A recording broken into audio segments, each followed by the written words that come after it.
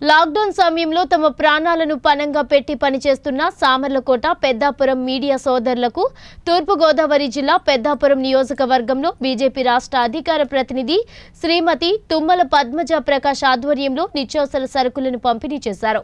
BJP party తరపున ప్రత్యేక ధన్యవాదాలు తెలుపుతూ మోడీ కిట్స్ అందించడం జరిగింది.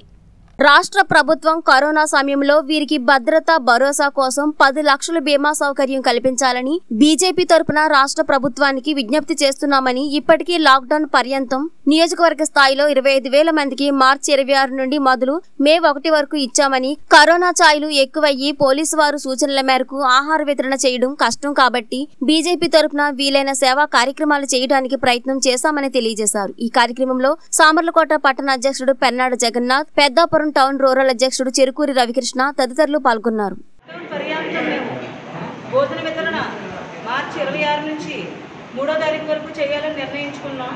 కాకపోతే పెద్దాపురంలో కరోనా మహమ్మారి ప్రజ్వరలవడం వల్ల నిన్నటితో మేము ఆపేసామండి ఎందుకంటే పోలీస్ యంత్రాంగం గారు చెప్పారు కాబట్టి ఇప్పటికీ మేము ఇరవై ఐదు వేల మంది మా నియోజకవర్గ పరిధిలో ఆహార వితరణ చేయడం అన్నది మా కార్యకర్తలు అందరి యొక్క కృషి ఫలితంగా అని నేను భావిస్తున్నానండి. ఏదైతే ప్రధానమంత్రి గారి సంకల్పం ఉందో అంటే ఆకలితో ఎవరు చనిపోకూడదు. కరోనాతో బాధపడినప్పటికీ కూడా ఆకలితో ఎవరు చనిపోకూడదని ఆయన యొక్క స్ఫూర్తితో మేము ఈ కార్యక్రమాన్ని చేయగలిగామండి. ఈ పత్రికా సోదరులు ముఖ్యంగా ఈ కరోనా సమయంలో వారు ప్రాణాలని ఒడిగట్టి వాళ్ళు చేస్తున్నటువంటి కృషి శ్లాఘనీయం కాబట్టి వారికి భారతీయ జనతా పార్టీ తరఫున ఒక ఆత్మీయంగా సోషల్ డిస్టెన్స్తో మేము ఒకసారి కలవాలని నేను ఈరోజు కలవడం జరిగింది బీజేపీ పార్టీ తరఫున.